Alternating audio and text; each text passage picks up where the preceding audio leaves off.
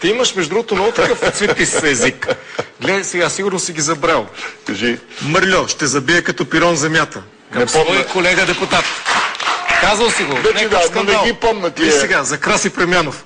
Алчен, похотлив комсомолец.